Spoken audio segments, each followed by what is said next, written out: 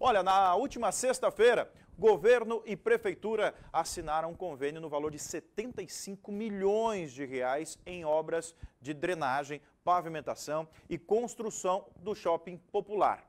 Veja. O valor do convênio assinado é de 75 milhões de reais orçamento custeado entre o governo do estado e prefeitura, que serão empregados em diversas frentes de obras em Três Lagoas. A solenidade aconteceu na última sexta-feira no Crase Coração de Mãe e contou com a presença do secretário de Infraestrutura Eduardo Riedel, chefe da Casa Civil Sérgio de Paula, prefeito Ângelo Guerreiro e demais autoridades. Para o prefeito Ângelo Guerreiro, este convênio vem fortalecer ainda mais a confiança no planejamento que Três Lagoas tem tido nos últimos anos. O município de Três Lagoas tem planejamento. E quando nós falamos em planejamento, é se falamos em projetos.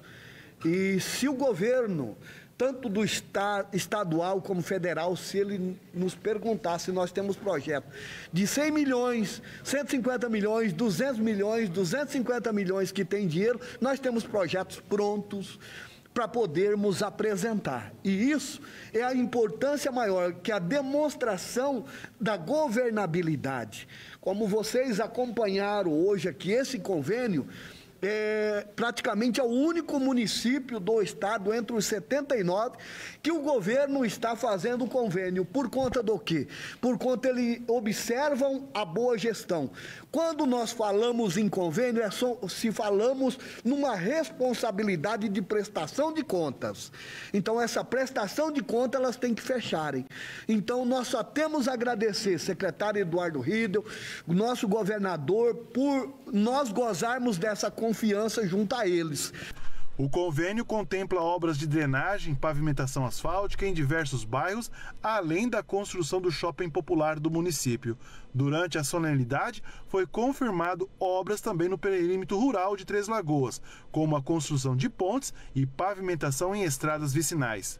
O convênio assinado entre governo do estado e prefeitura de Três Lagoas traz benefícios que entram em execução ainda em 2021.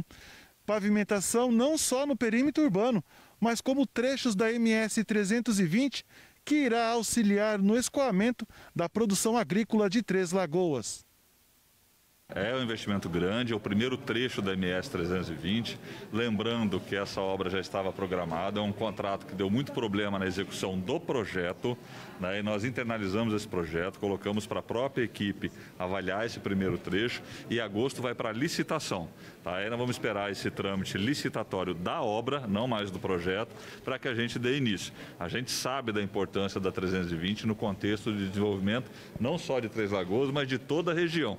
É uma obra esperada pela região e que vai ser estruturante para o crescimento e desenvolvimento do segmento agropecuário, que cresce muito no nosso estado e nós temos que dar esse suporte uh, para essa região, pavimentando a 320. E a gente começa pela licitação em agosto do primeiro trecho. Obra que irá beneficiar os produtores rurais de Três Lagoas, como o produtor Idelfonso Ribeiro, que depende da MS 320 para escoar a produção.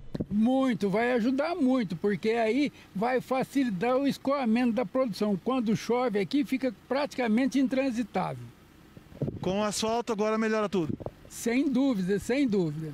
Durante a coletiva de imprensa, o secretário Eduardo Rido comentou da retomada econômica e como isso pode beneficiar os empresários de Três Lagoas. Primeiro foi feito ouvindo né, os diversos setores. Eu fiz mais de seis reuniões com todos os segmentos de economia que foram duramente afetados, bares e restaurantes, setor cultural de uma maneira geral, turismo, que também foi muito afetado. Ouvimos as principais demandas e conseguimos discutir com as diferentes áreas do governo para que a gente tivesse aprovação do governador Reinaldo em relação a esse conjunto de medidas, que somam aí 760 milhões de reais aplicados na retomada do crescimento de Mato Grosso do Sul, bem como na área social. Né? O Mais Social faz parte desse contexto, são até 100 mil famílias sendo cadastradas.